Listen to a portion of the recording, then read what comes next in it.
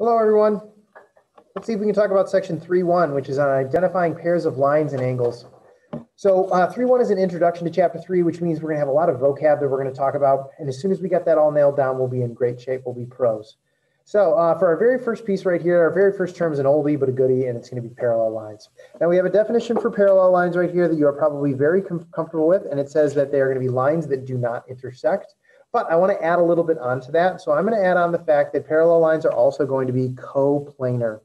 What this means is that they are going to be lines that are going to exist on the exact same plane. I have a picture right over here of some lines, and the plane that they live on is my piece of paper. And these lines right here are going to be going off in all kinds of different directions, but I do have a couple that are parallel, specifically AB here at the top, and then CD down here at the bottom. Those two lines are going to be parallel lines. Now, if I want to talk about those lines, I can use some notation to do that quickly and easily. I would talk about line AB by writing the letters and then drawing myself a small li uh, line over the top. I could talk about line CD by once again writing the letters and drawing the line. Now, if I want to talk about those two lines being parallel, all I need to do is just draw two parallel lines between them like that. If you want to mark your drawing and show that two lines are parallel on your drawing, you can do that quickly and easily by adding in some arrowheads. These arrowheads are going to go in the middle of your line, not on the very far right or on the very far left, not on the ends, but in the middle. That will signify two parallel lines. Let's move on to our second term. Our second term is skew lines. Now, skew lines are also going to be lines that do not intersect. So with that in mind, you might be wondering, if skew lines do not intersect, why do we even need them? Because isn't that the same thing that parallel lines are? And the difference here is that skew lines are going to be non-coplanar, which means they do not share the same plane, but rather they will each have their own separate plane. So I cannot show you skew lines in my first drawing right here because once again, all of these lines live on the plane that is my piece of paper. So I have another drawing right here and this one's got a perspective to it so you can see that there's some depth here. What I have is I have two crossroads. I was imagining when I was making this that this was going to be Rochester Road, and there would be a sign that said Rochester Road on it that would go in the same direction. Then I was imagining that this road right here could be Tienken Road, and there would be a sign that said Tienken on it as well. Now the roads themselves certainly intersect right here, and the signs intersect as well. So they are not going to be skew. But if we choose one of our roads, like Rochester Road, but we choose the opposite road sign, the Tienken Road sign, we will have two lines that are going in, in conflicting directions. But because the road sign is lifted off the ground, there is space between them and they will not intersect, even though they travel in two different directions. One of them is on the plane that is the ground, and one of them is on a separate plane that is much higher. So it is the road and the opposite road sign that will be skew. Let's talk about parallel planes. Parallel planes are going to be planes that do not intersect. So when I was talking about that idea of the roads living on the plane of the ground and then the road signs living on a higher plane, those planes would be parallel. They would never intersect. They would be right next to each other, stacked on top of each other with air gap in between. Last piece, transversal. A transversal is a little bit different. If you take a look at all of the definitions we have so far, you'll notice that the term not intersect shows up. But a transversal is going to be a line and it will intersect. In fact, it will do it two or more times. Transversals are going to be some lines that are going to intersect. In our picture right over here, the street sign itself, this guy right here is a transversal. It will intersect the streets and it will intersect the street sign. So it is going to be a transversal that will intersect two times. Next, we have some postulates. Now, these postulates are going to be based off of parallel lines again and perpendicular lines. And this is just to help us when we are writing um, some proofs and kind of formalize our information. Last checkpoint we had, we had some proofs. And when we were filling in the reasons, we used definitions, but we also used theorems and postulates. If we have proofs in the future, which we will, these parallel postulate and this perpendicular postulate will help us with those proofs. And basically, the postulates just say that if you are trying to build parallel lines or uh, perpendicular lines, they are going to be unique. Here is my example right here. If you already have a line and you have a point picked out and you want to build a parallel line, you don't have a lot of options. The only option that you have would be a line that looked like this. It would need to run right along next to the line you already have, and it would need to pass through the point. And that would be your only parallel line. If you're trying to build perpendicular lines through a line and a point, once again, you have limited choices. Your line needs to go through the point, but it also needs to be 90 degrees to the line. And so that means you don't have that many options available to you. And so you only have one, one unique choice. Let's take a look at an example that's got another drawing. So this time we have a three-dimensional figure. It's got a front and a back that are pentagons, and then it's got these sides that are rectangular and they're stretched between the front and back. What I want you to do is I want you to see if you can find some of these vocabulary terms in the picture itself. So our first piece is we're trying to find a line that is parallel to AF. AF runs along the very ridge of this uh, picture right here. It is going to be at the very top. And we want to choose a line that is parallel, but we also want it to include point E. Point E is going to be pretty critical in this problem, so I'm going to highlight it right here. Now, a line that is going to be parallel needs to make sure it does not intersect AF. And there are actually quite a few lines that are, in, are parallel to AF, but we want to pick one that is parallel and passes through point E. Some of the lines that extend from point E are going to run in an opposing direction to AF. Uh, and that is bad because that means that uh, they are not going to be on the same plane. Some of the lines like AE right here live on the same plane, but they are going to intersect at points like A. So we want to pick the perfect line that will live on the plane with AF, but not intersect AF. And EJ would be a great option. EJ is going to be my perfect answer right here. I'm going to mark it as a line using my notation. Now for skew lines, now what we're going to do is we're going to take a look at BG. BG is this dotted line right here, and it's dotted because it's actually at the back of my drawing. I can't really see it because I can't really see through this three-dimensional solid, but I do know that it's back there, so I've drawn it in as a bit of an imaginary line. Now I want to pick a line that is going to be skewed to BG, and it's going to pass through point E again. Now remember, skew means does not intersect, but it also means lives on a different plane. So BG right here has got a couple of planes that are right next to it, one above it, one below it, and we can't use those. Luckily, E right over here is at the very front of our drawing, and so that is going to be living on some very different planes. A line segment that worked great for us last time was EJ, and EJ right here is certainly not going to intersect BG. But the thing about it is, though, that EJ does actually live on the same plane as BG. And you might be saying, which plane? And it's actually not drawn. So you would actually have to incorporate kind of an extra plane right here. And this plane would use your two parallel sides, BG and EJ, and you would see that there would be a plane that lived inside of the figure. That's not very good. We don't want that one. So EJ will not be used a second time. If we use a different line from E, like ED right here, ED is pacing in a completely different direction. It is shooting off in more of a vertical direction right here. And because of that, it is going to be on a complete and unique plane that is different from BG, which is kind of running more horizontally. So ED is a much better choice for us. Now, our last option that, of a line that comes from E is going to be EA. Now, EA right here is an interesting one because it looks like it intersects BG right there. But that is actually inaccurate. It does not intersect each other because of their locations in the three-dimensional figure. This is a three-dimensional figure drawn on a two-dimensional piece of paper, so it looks like they're intersecting, but it's just not true. EA is at the very front while BG is on the side. So EA will be a second equally good answer Now for our last piece right here, we want to talk about parallel planes. And our first plane that we want to discuss is FGH. Now the points F, G, and H all exist at the very far back of our drawing. And so the plane that we are going to be talking about is going to be the very back of this three-dimensional figure. It is a pentagon shape, and it is very, very, very far to the back.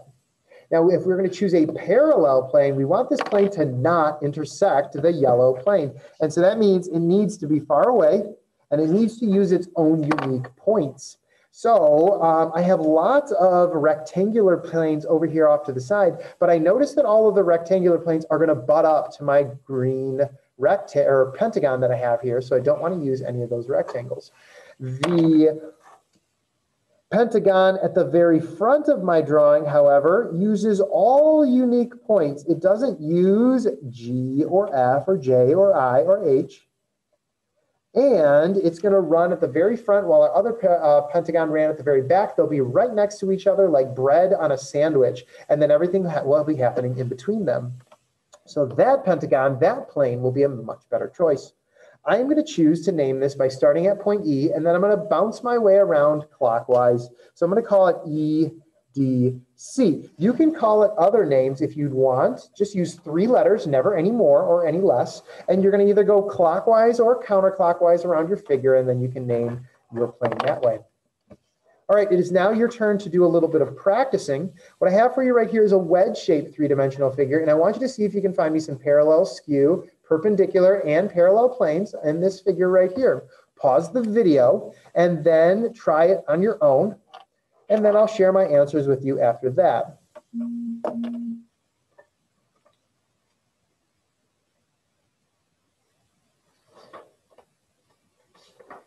Here are some final answers for you. Parallel to MN along the backside would be JL around the front. Skew lines for MN would be JK along the front, KO across this bottom edge, and KL across the front bottom. Perpendicular would be JN, which goes across the very top, and MN that runs along the side right there. They'd form a 90 degree angle. And then lastly, a parallel plane would be JKL. JKL would be this triangle right at the front here, and it would be parallel to MNO at the back here, which is also triangular in shape, but formed by its own unique set of points. Next, let's talk about our transversals again. So our transversals are going to be these lines that we have that are going to cut through two additional lines. Now transversals are interesting and unique, and so geometric mathematicians are always interested in them. Though one of the reasons why they're interested in them is because transversals form these clusters of angles and as geometric mathematicians were looking at these clusters, they noticed all kinds of patterns and unique pieces. And so they wanted to be able to talk about these clusters of angles. And that meant that they needed to come up with some terminology so that they could discuss, maybe by writing letters or publishing papers. So that's what we're going to talk about now. We're going to talk about the angles that live in these clusters and we're going to give them names. Let's talk about our first set. So I have two angles identified right here. I'm going to call it angle two and angle six for right now. And I want you to take a close look at how they're related to one another. Angle two in this little cluster is what I would call in the upper right-hand corner, and angle six is in the upper right as well. You could also call this northeast and northeast. Now, because they are matching, they're both in the northeast, we would say that they match. But we're not going to use that simple term match. We're going to use a fancier word. And that fancier word is going to be they are going to correspond and since we are using the fancy word correspond instead of the fancy word match, we call these corresponding angles. Angle 4 and angle 5 are going to be different. Angle 4 and angle 5 do not correspond. If I was going to describe angle 4, I would say that it is in the lower right or in the southeast. Angle 5 is in the upper left or in the northwest. Those are different. And not only are they different, they're also opposites lower right, upper left, southeast, northwest. And since they are going to be complete opposites, we're going to want to use a fancy word that means opposite. The fancy word that we're going to use instead of opposite is going to be alternate. Here is another thing that mathematicians notice about angle 4 and 5. Angle 4 and angle 5 are nestled very comfortably, very snugly in between our two intersected lines. We have a line over here and a line over here, and right between those two lines, we have our two angles that we're discussing. Since they are in between our two lines, we are going to call them interior angles as well. So they are not just alternate, but rather alternate interior. Angle 1 and angle 8, if I was going to describe their locations, I might say upper left and lower right. I would say northwest and southeast. Now, just like we had talked about before, those terms are opposites, but we don't use the word opposite. We use a fancy version, and we're going to call it alternate.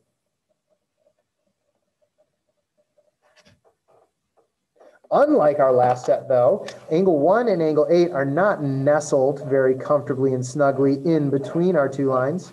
One is high above and eight is down below, up in the thin, cold air and down in the cold, damp soil. And so because these guys are outside of the snuggly warmth of the middle, we are gonna call them exterior angles. We have interiors up here, we're gonna have exteriors down here.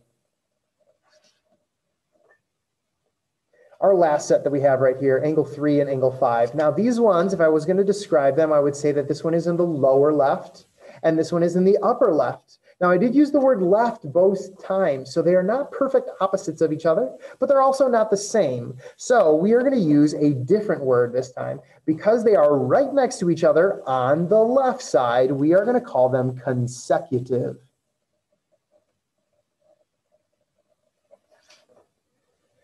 These angles are also nestled very snugly and warmly in between our two intersected lines, so we will call them interior angles as well. We have four terms, corresponding, alternate interior, alternate exterior, and consecutive interior angles. Let's see if we can talk about uh, some example problems. Right here, I have all eight of the angles labeled with numbers. And what we want to do is we want to identify the sets that are corresponding, alternate interior, alternate exterior, and consecutive interior. For corresponding, I'm going to be very boring and I'm going to start with angle 1. Now, angle 1's location is in the upper left or in the northwest. When I travel down to my second cluster of angles down at the bottom, I want to find another angle that is in the upper left or the northwest. That would be angle 5. Now, this isn't the only set of corresponding angles. Let's do angle 2. Angle two, I would describe as in the upper right or in the northeast. If I come down to my second cluster, I want to go to the upper right or the northeast, and I will find angle six. Let's do angle three. Angle three, I would describe as being in the lower right-hand corner or in the southeast. Another angle that is in the lower right-hand corner is angle seven. And our last angle that we have in our top cluster is angle four. Now, angle four is in the lower left or in the southwest. Another angle that is in the lower left or southwest is angle eight. There are four sets of corresponding angles in this drawing right here. Alternate interior angles. Now, because it is using the word interior, that means that we really need to limit ourselves. We will only be allowed to look at the angles that are on the interior. So that's going to limit us down to three and four and five and six. So all those are the only choices that we will have. Now, the other part of this is we do need it to be alternate, which means opposite. So you want to reach across the transversal to the opposite side. So when we're going to start with an angle like angle four, we want to reach across and we're going to find another angle like angle six. Angle four and angle six are both interior and alternate. Similar to that is angle three is an interior angle. And if we reach across the transversal, we'll find angle five. And that will be another set of uh, alternate interiors. Next, alternate exteriors. Alternate exteriors means you are not allowed to use these angles in the middle. You are going to have to focus on the angles that are very high up at the very top and very low down at the very bottom. And so we will only be using one and two and eight and seven. Now we will also be wanting to do alternates here. So that means that if we're interested in angle one, we want to reach all the way down, but also across the transversal. And we're going to be talking about angle seven. We're going to be reaching across the whole drawing. Angle one and angle seven are alternate exterior. Similar to that is angle two is another exterior. And if we reach all the way down and all the way across the transversal, we will find angle eight, angle two and angle eight. Okay, pause the video and try the you try problem down here at the bottom on your own, and then I'll share my answers for that one.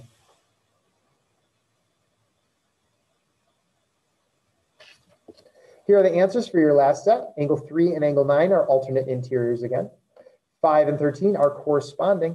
One and three are a particularly unique set. If you take a look, they are not located in two clusters like we had in the last example, but rather one and three are located in the same cluster. So that means that one and three are not corresponding or alternate interior or alternate exterior or even consecutives. They are going to be vertical angles. Your next job is going to be to work on your 3-1 practice worksheet.